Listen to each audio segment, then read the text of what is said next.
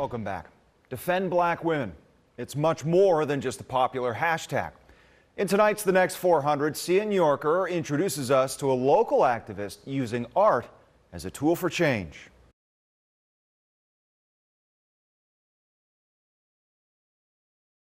We must love black women. We must own black women. We must defend black women. It was the chant heard all around the city.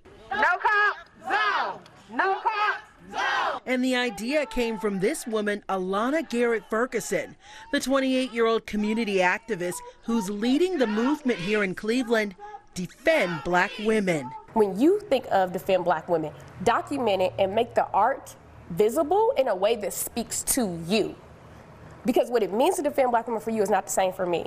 Garrett Ferguson has been on the ground for years, shaking things up and trying to hold those in power accountable. But she tells me she felt even more compelled this year after the deaths of George Floyd and Ahmaud Arbery, when people all over the world took to the streets to protest police brutality in communities of color and systematic racism.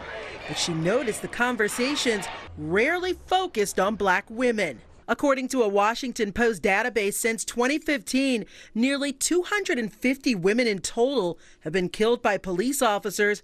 48 of those women, one fifth, were black. Research shows the conviction rate is low in all of those cases. In that time frame, there have been only two cases where officers were charged. One police officer was acquitted, while the other case is still pending. In comparison, there have been five cases since 2015 where police officers were charged in the shootings of white women. Three of those resulted in a conviction. Garrett Ferguson says it's disheartening. We don't have the privilege of being fragile. We don't have the privilege of being graceful or anyone really seeing us as victims. We are always seen as survivors. And that is harmful because at the same time that's stripping away a part of our humanity. And so she organized a call to action. What does it mean to defend black women?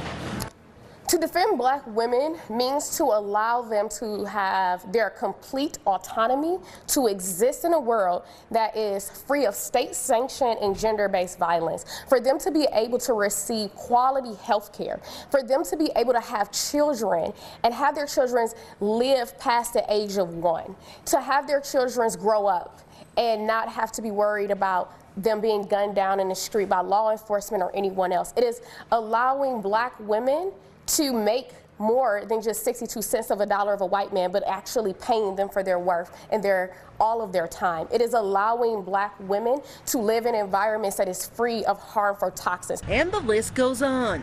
But she started planning, designing a series of events that would focus solely on black women, addressing some of the issues and providing solutions. There was art. There was activism. We take a moment of silence. And a call to action. We need to be believed. We need to be nurtured.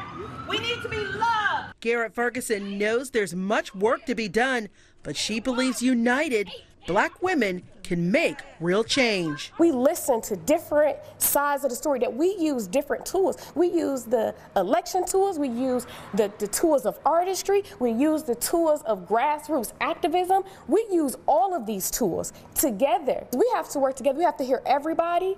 And it is that is the only way that we're actually going to be able to have the liberation of black women. Garrett Ferguson talked about some of the issues plaguing black women Coming up on 19 News at 11, I introduce you to one mother who had a high risk pregnancy. She shares her experiences and how she believes that she can help save other women. Reporting in Cleveland for the next 400, Sia Nyorkor, 19 News.